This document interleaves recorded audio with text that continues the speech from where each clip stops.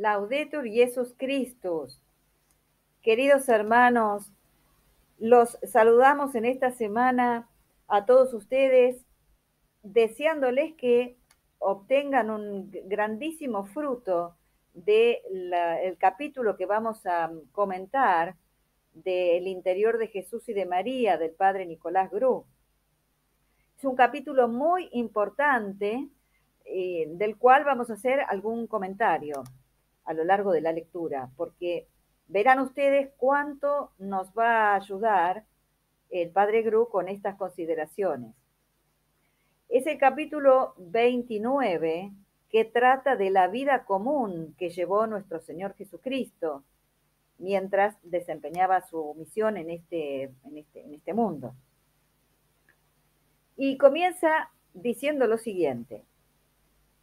Una de las cosas más admirables en Jesucristo y más opuestas a nuestras ideas es la vida común que llevó y que siendo elegida por el mismo Dios, es indudablemente la más perfecta, contraponiéndola con nuestras propias ideas acerca de la santidad.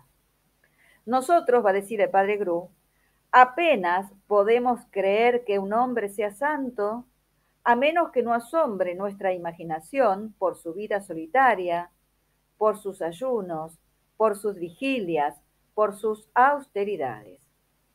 Fíjense, primera cosa que nos pone es, son las eh, notas externas que pueden coincidir o no con una vida de santidad.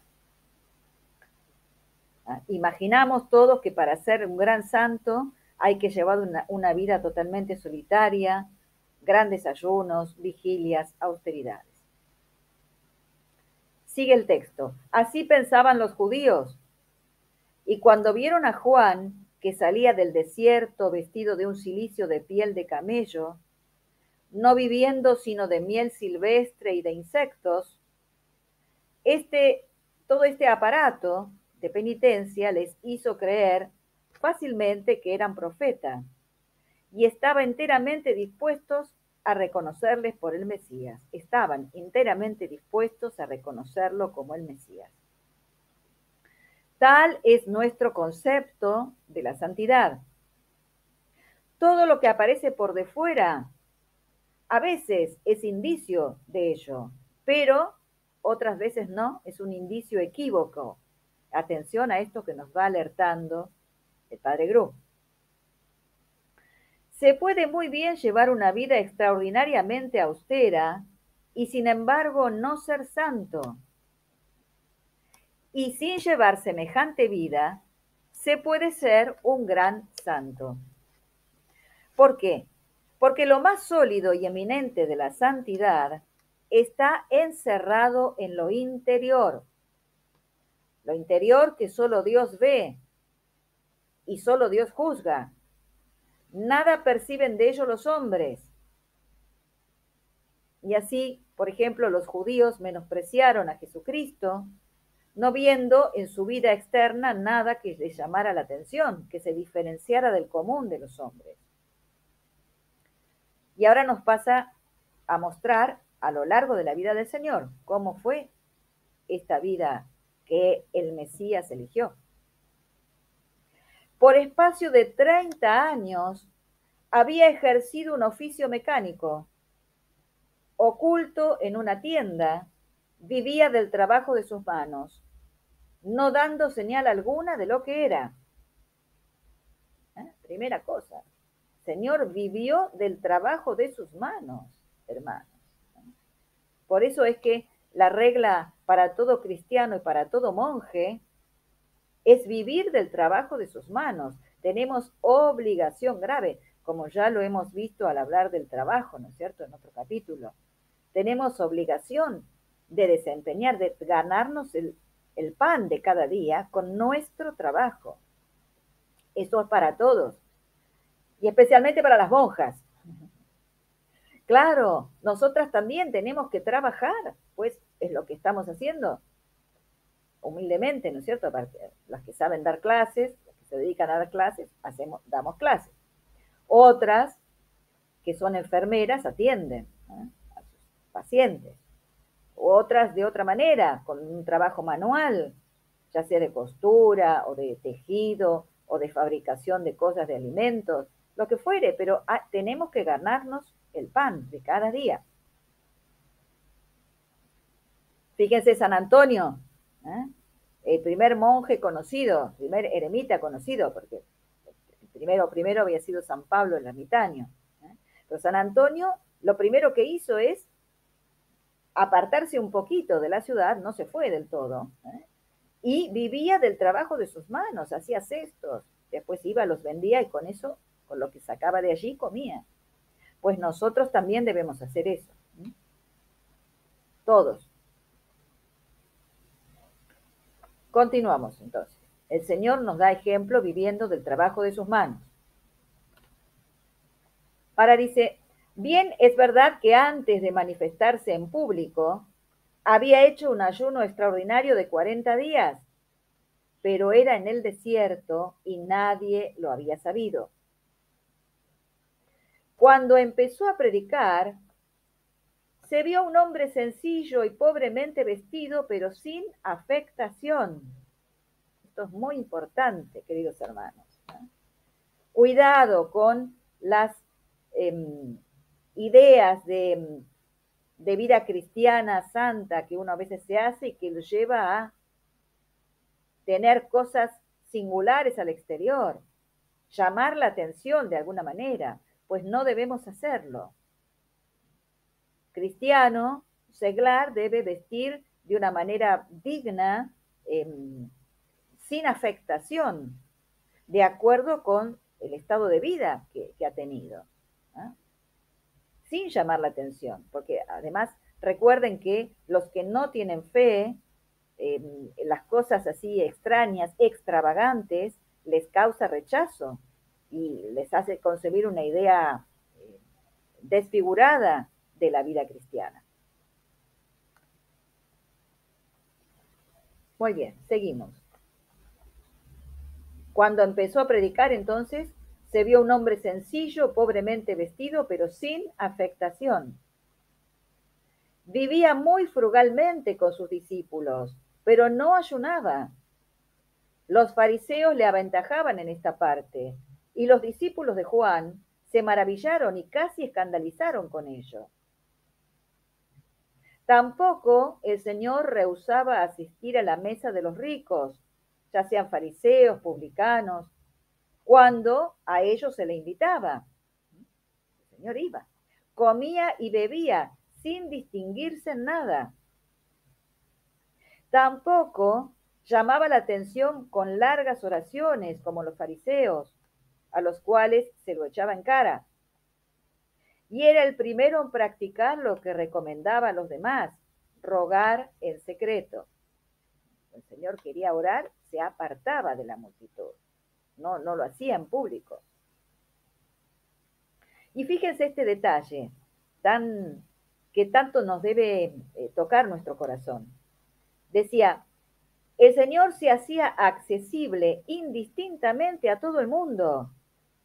Su aire, su andar, su conversación, toda su persona no presentaba sino la sencillez, si se hacía seguir y respetar, no era ciertamente por su exterior.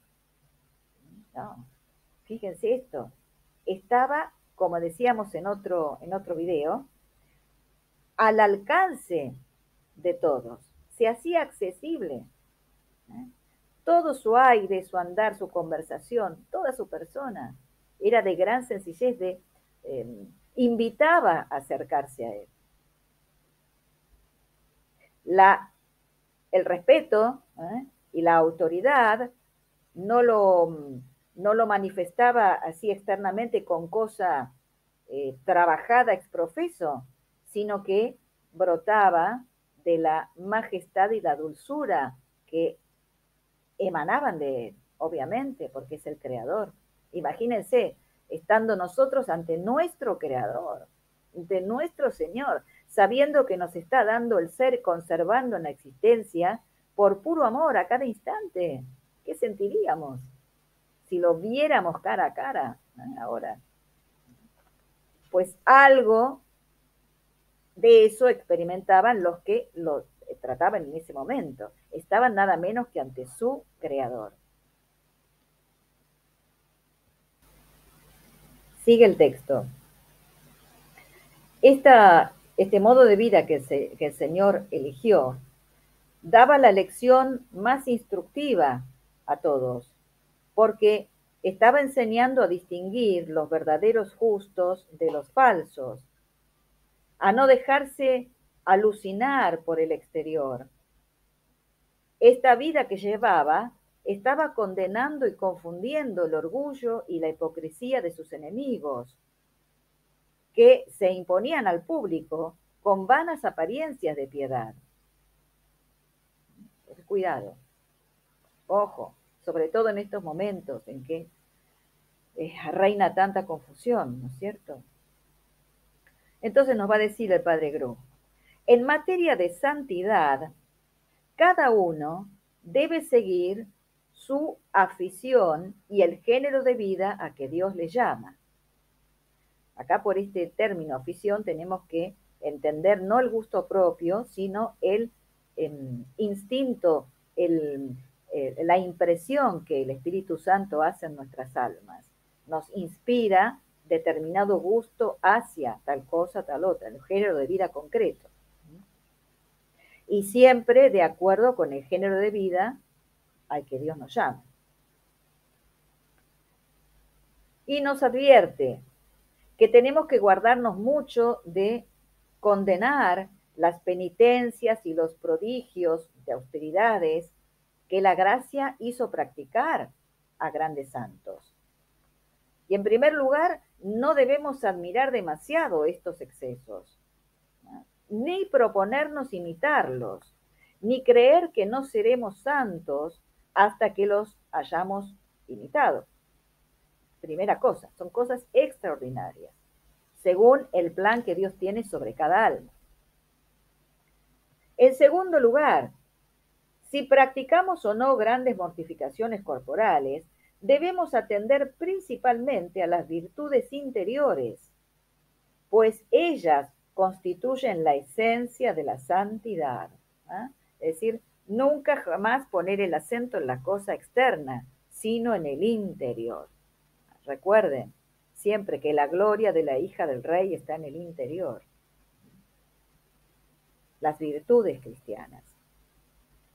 Y en tercer lugar, nos dice el padre Gru, en cuanto dependa de nosotros, siempre tenemos que preferir la vida común a todos los demás géneros de vida para poder imitar más de cerca a nuestro Señor Jesucristo, conservarnos en la humildad, alejarnos cada vez más del orgullo que ama la singularidad, hacer también la virtud amable al prójimo en vez de retraerle de ella. Fíjense, esto es muy importante, volvemos sobre lo que dijimos hace un rato. Nuestro exterior no debe causar repulsión a la gente que no tiene fe o que no practica, tiene una fe muy, muy débil. Eh, al contrario, tiene que hacerle amable ver que la vida cristiana seria es bella, no, no causarle rechazo. También tiene que estar entonces en nosotros este sentido caritativo ¿ah? hacia, hacia el más débil. Y continúa. La vida común se llama así porque entra en el orden común de la providencia y es compatible con todos los estados en que se divida la sociedad.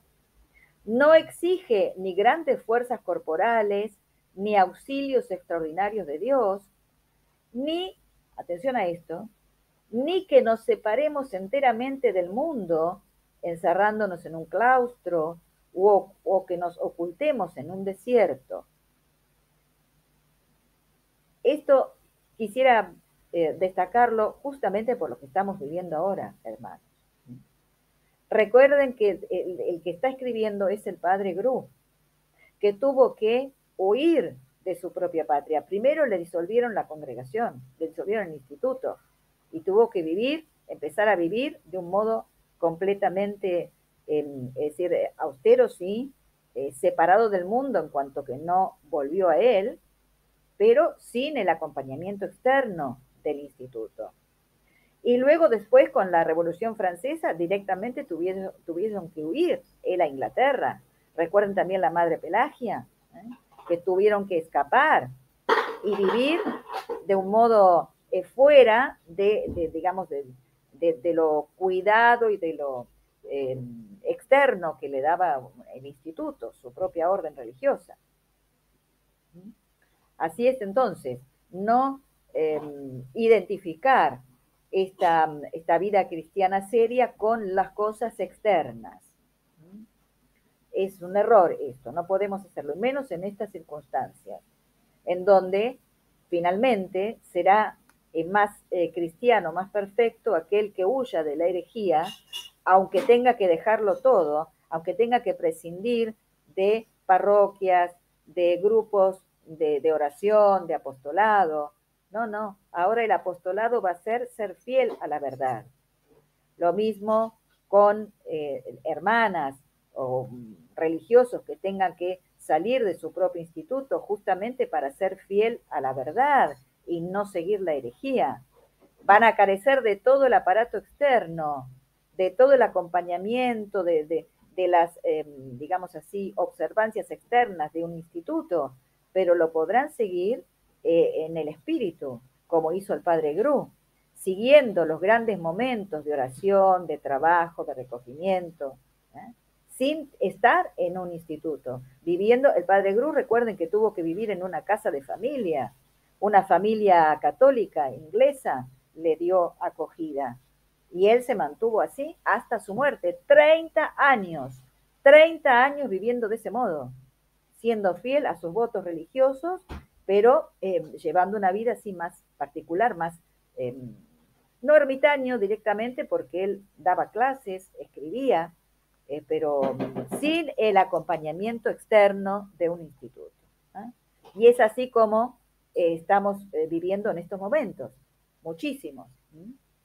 Y ese es el modo de vida que el Señor quiere en estos momentos, porque lo que vale ahora es la fidelidad a la verdad y el huir de toda herejía. Y termina entonces el texto diciendo que esta vida común se hermana, es decir, em, facilita maravillosamente el espíritu de oración, el recogimiento habitual, el desprendimiento de las cosas creadas, la unión con Dios, la caridad para con el prójimo. Los que llevan una vida interior, nada temen tanto como distinguirse con exterioridades, cualquiera que fueran.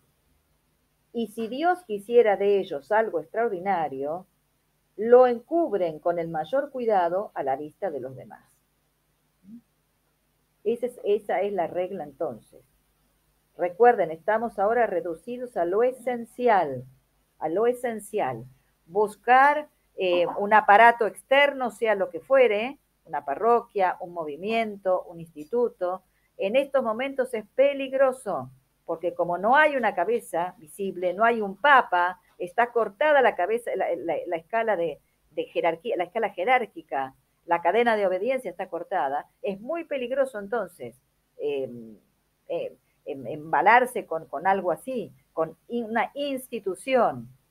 No, no se sabe a quién uno sigue y de seguir a alguien no sabemos si esa persona va a ser fiel y, no va a querer imponer sus propias ideas y terminará siendo una secta el grupo en el que estemos, ¿no? Entonces, cuidado, cuidado. Ahora es tiempo de guardar la fe, no otra cosa. Como siempre, para cualquier duda pueden escribir al mail regina.martirum20 Esperamos entonces que les haya sido de gran utilidad este capítulo y mm, adelante y esperemos siempre al Señor. Y atención, hay un aviso importantísimo que vamos a hacer en el video que presentamos también junto con este.